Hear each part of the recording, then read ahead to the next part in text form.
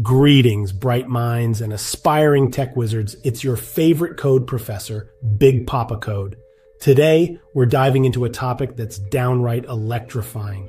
How do we, in this vast digital universe, chit chat across the web, prepare to be amazed as we demystify the magic of IP packets, TCP, HTTP, and our trusty guide, the DNS?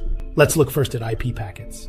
Imagine, if you will, you've just penned the most poetic of love letters, but alas, it's too large to send as is. Instead, you cut it up into smaller poetic snippets and send each snippet in its own little digital envelope.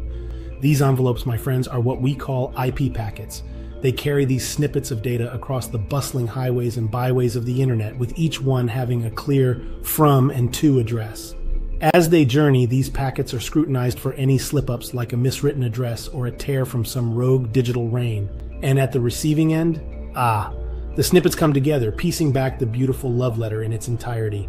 Let's now explore the big trio IP, TCP, and HTTP. If the internet was a city, then IP is your home's address. It's unique like your fingerprint. An IP address ensures you're recognized in the teeming masses and helps your tech gadgets engage in some friendly banter with others.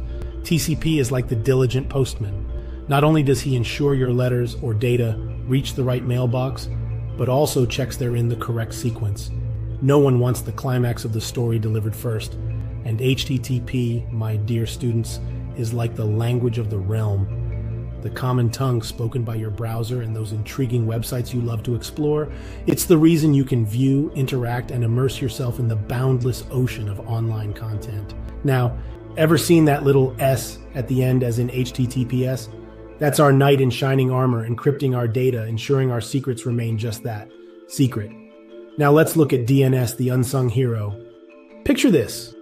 You're in a foreign land and you have a destination but no idea how to get there. What do you need? A guide. Enter the DNS, our personal internet guide. When you punch in that website name, thinking of the endless cat videos waiting on the other side, your computer gives you a quizzical look. It's the DNS that steps in, whispering, Don't worry, I know the way. Acting as a translator, it morphs that website name into the unique IP address, ensuring your journey to feline fun is swift and smooth. In essence, the DNS is like our virtual GPS, pointing us in the right direction, making sure we reach our intended digital destinations without wandering astray. And there you have it, my brilliant learners the grand ballet of internet communication, from our poetic IP packets, the harmonious trio of IP, TCP, and HTTP, to the trusty DNS guide leading the way. As we come to the close of yet another enlightening session with Big Poppa Code, remember this. The internet is an intricate dance of protocols and systems, and every click, every search, every shared meme is a testament to this technological marvel. Don't forget to like and subscribe and share this with your fellow technology enthusiasts.